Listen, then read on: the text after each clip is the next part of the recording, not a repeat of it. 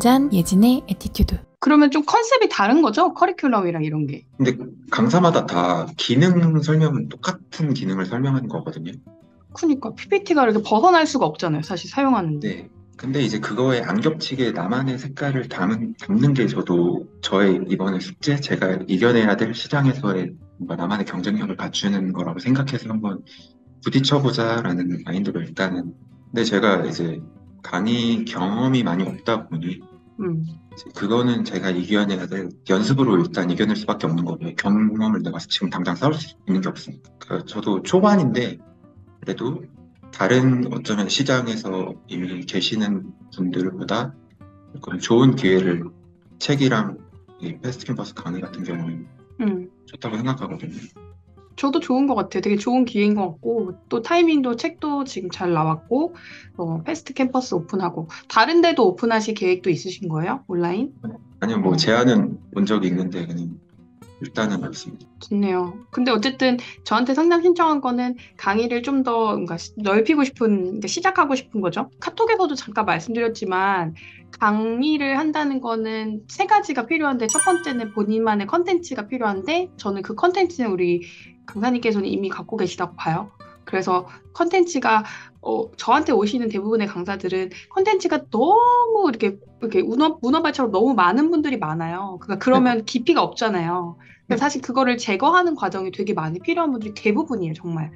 100명 중에 80명은 대부분 그 제거가 필요한데 그 제거를 못 하시는 분들.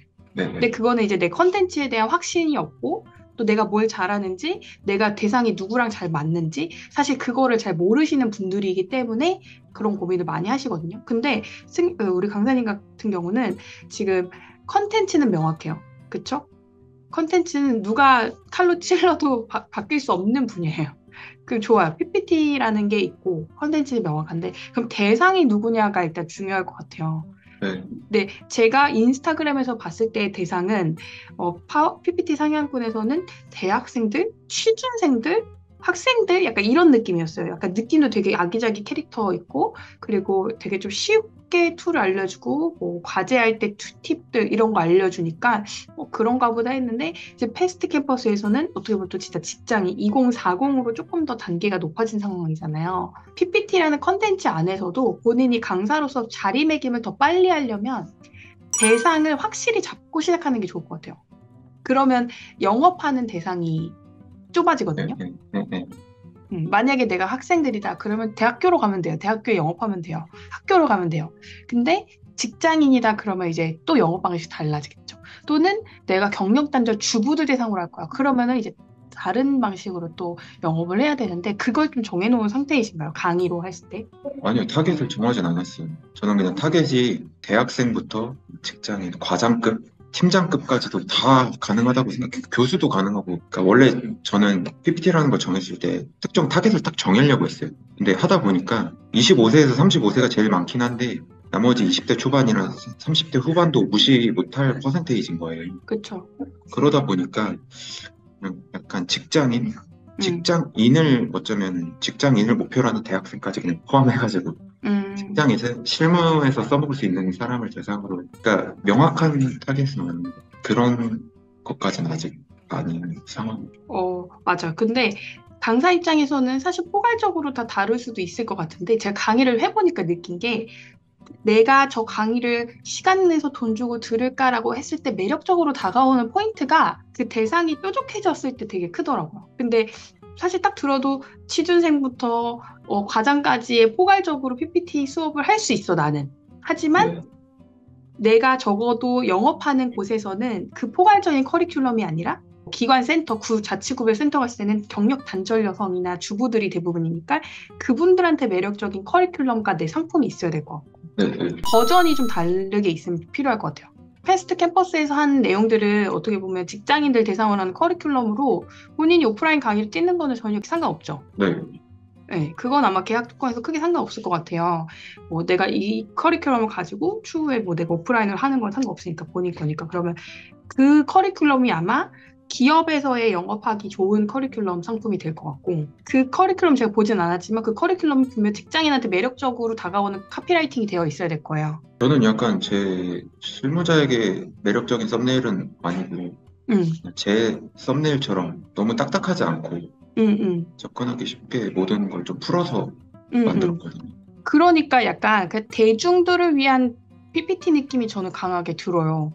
근데 만약에 제가 PPT 강의가 필요한 강사여도 저 사람 강의를 내가 돈 주고 들을까?에 대한 고민이 되는 거죠. 예를 들면. 내가 강사라면. 그 또는 직장인이에요. 지금 당장 뭐, 어, 뭐 상품 소개서를 만들어야 되는 직장인이다?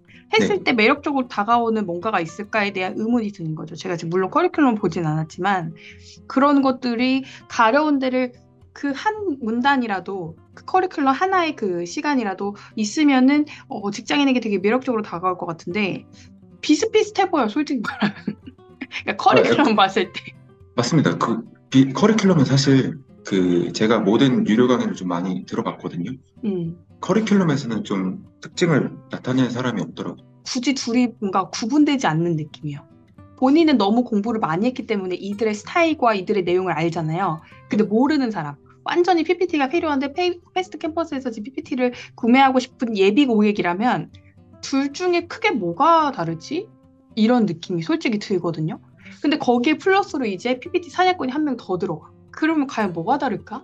여기서 뭔가 차별점이 있어야 될 것 같은데 저는 보통 돈 주고 살 때는 커리큘럼을 먼저 보거든요. 이 네, 사람의 네. 이력도 보지만.